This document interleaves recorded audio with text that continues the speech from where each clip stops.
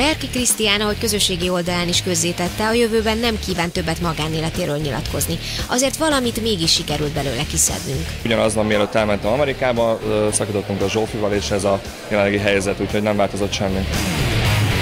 Krisztiánt nagyobb sikerrel fogadtuk arról, hogy a sport milyen szerepet játszik az életében. Megcsinálom idén az ironman aztán jövőre, hogyha úgy alakul, akkor lehet, hogy, lehet, hogy a testépítés valamelyik kategóriában elindulok, és hát mellette üzletemberként is valószínű, hogy egy futballcsapatnak leszek a tulajdonosa.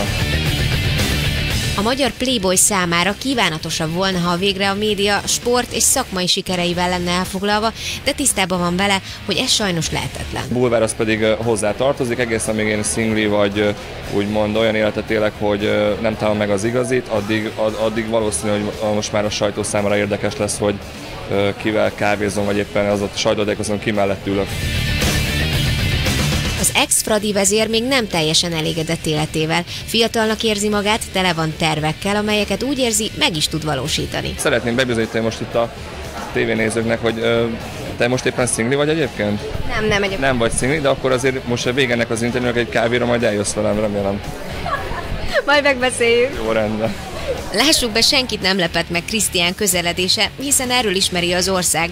Sok sikert Krisztián a további hódításaidhoz.